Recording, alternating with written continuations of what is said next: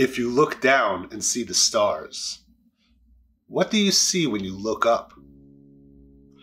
Hi, I'm Andrew, this is Splash Page, and this is something we haven't done before, but uh, I've been watching Critical Role for a few years now, caught up on all the campaigns over there, and they've had a miniseries coming out recently, getting ready to watch the final episode of EXU Calamity tonight. I hear it's supposed to be amazing and long, and I'm rearing up and ready to go.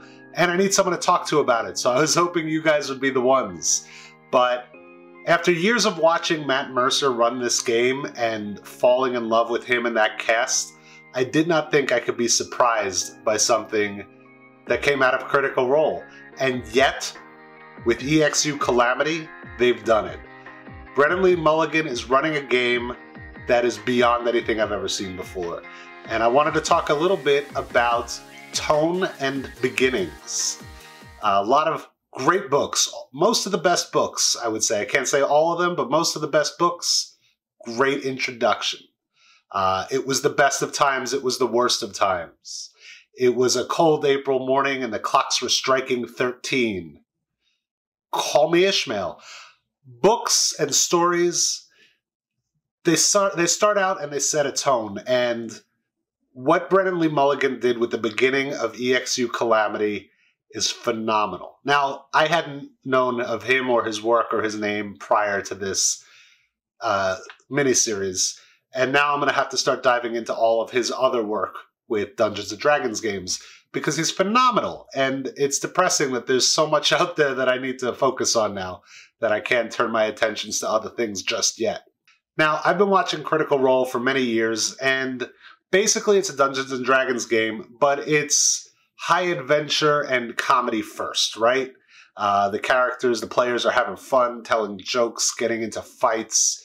Uh, there's dark moments and intense moments for sure, but a big part of Critical Role has been comedy. When you have a show called Calamity, and you already know the outcome before you begin, it's smart to start things a little darker, which is kind of what Brennan did.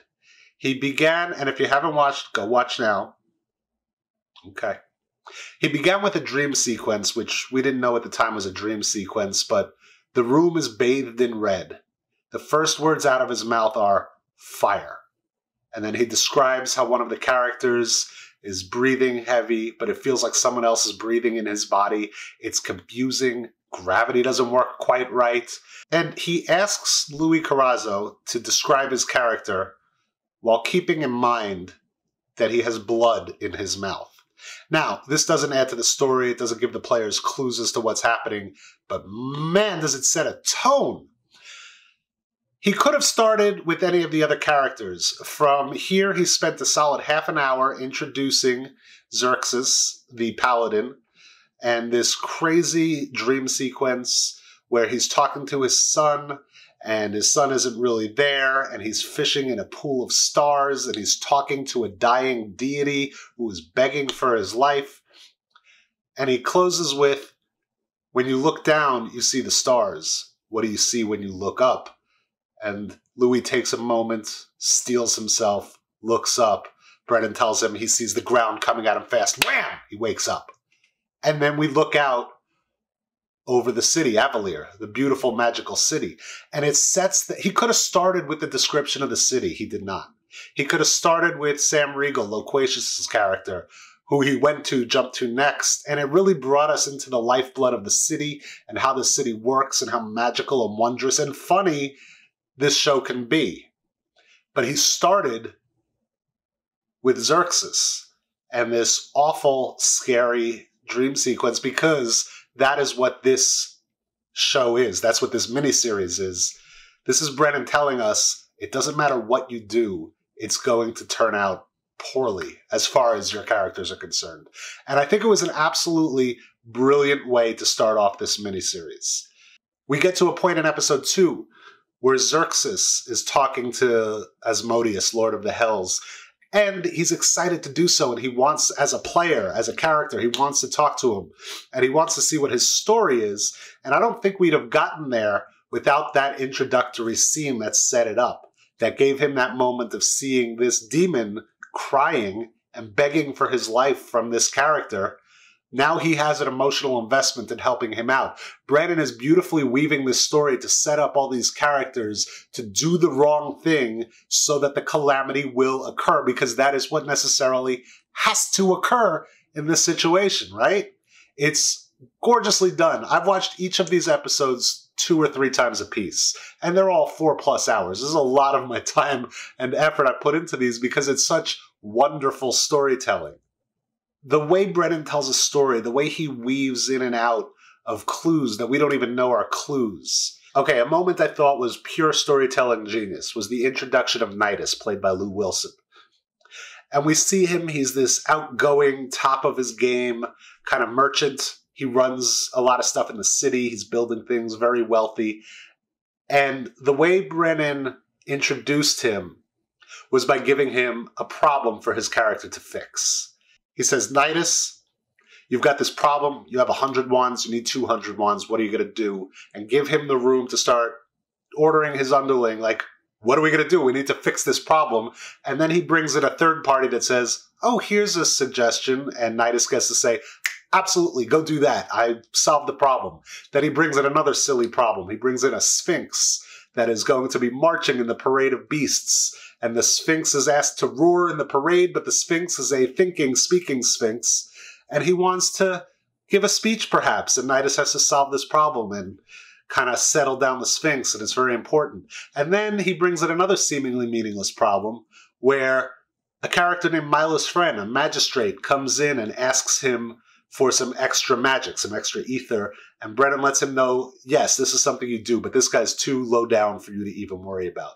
So he gets to kind of blow him off, and then later when they meet up as a group, he'll ask the other characters, hey, did you tell this guy? Is there a leak? What do we got to do about this?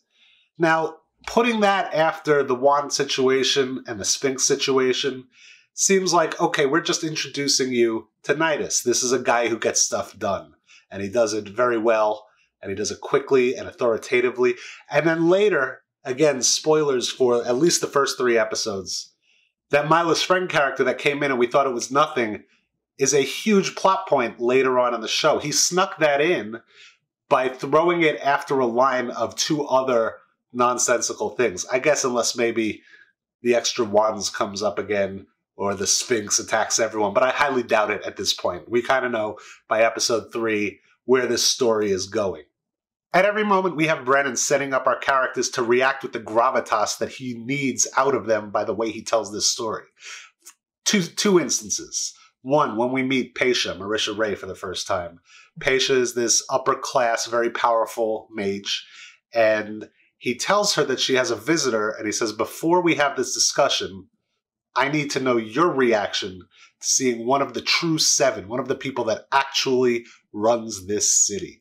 Now, he could have just said, the guy that runs the city, one of the seven, very important guy is coming in, but the way he set it up, I need to know your reaction so that she has a moment to think about how she would react to this. Would she say, Oh my God, look at you? Would she, in her mind, she might not have even thought of it if he didn't bring it up that way, that she wouldn't react outwardly, but inside the back of her head, she's kind of freaking out, going, What is this guy doing here?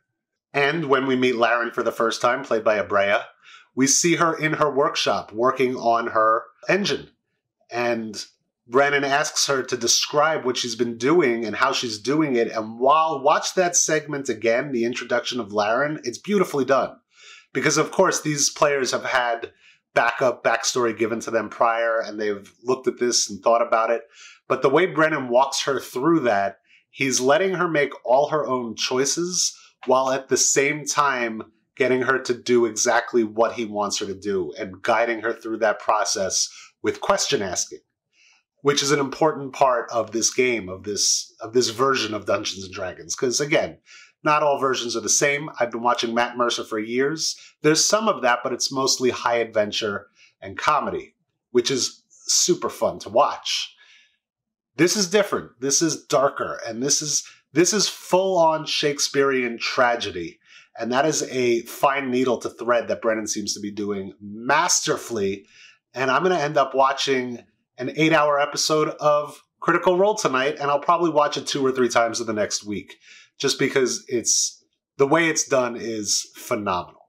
So I'm sorry if this has been a little rambly. This has been my thoughts over the last couple weeks on storytelling, on introductions, on setting a tone, and kind of on how to run a game, but on really just how to tell a story.